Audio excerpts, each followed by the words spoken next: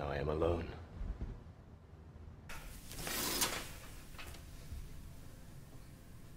Now I am alone.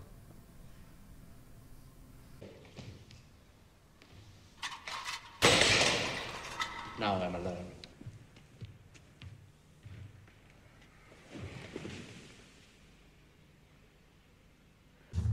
Oh, what a rogue and peasant slave am I!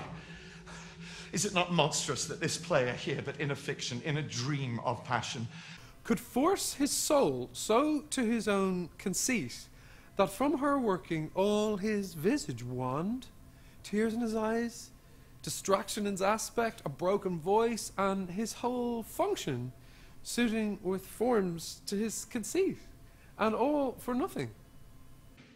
For Hecuba.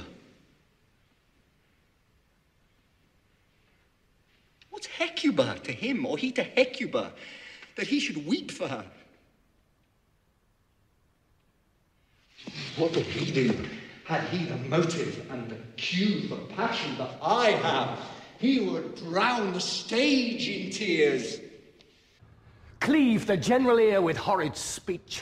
Make mad the guilty and appall the free. Confound the ignorant and amaze indeed the very faculties of eyes and ears. Yet I, a dull and muddy mettled rascal, peak like John o' Dreams, unpregnant of my cause, and can say nothing.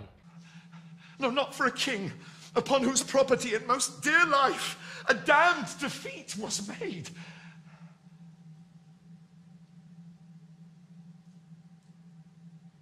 Am I a coward?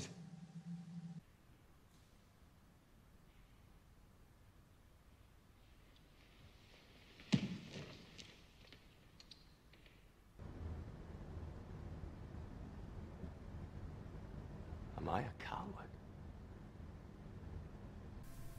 Am I a coward?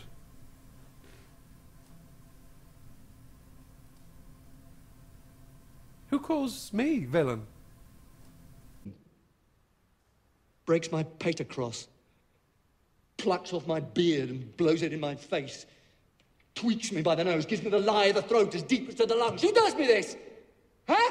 Swans, I should take it, for it cannot be but I am pigeon-livered and lack gall to make oppression bitter. Fatted all the region kites with this slave's offal, bloody, bawdy villain! Remorseless, lecherous, treacherous, kindless villain! Oh, vengeance!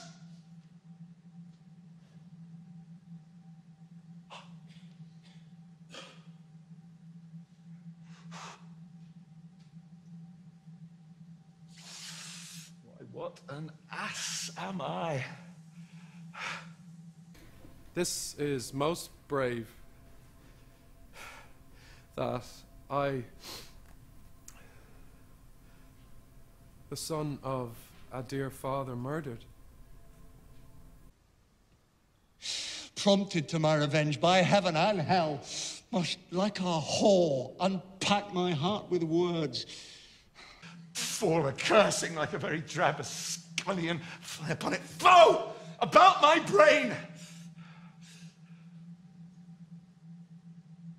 I have heard that guilty creatures sitting at a play Have, by the very cunning of the scene, been struck so to the soul that presently they have proclaimed their malefactions. For murder, though it have no tongue, will speak with most miraculous organ. I'll have these players play something like the murder of my father before my uncle.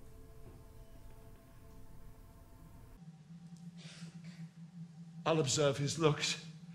I'll tempt him to the quick, and if he do but blench, I know my cause. The spirit that I have seen may be the devil. And the devil hath power to assume a pleasing shape. And perhaps out of my weakness and my melancholy, for he is very potent with such spirits, abuses me to damn me. I'll have grounds more relative than this. The play is the thing wherein I'll catch the conscience of the king.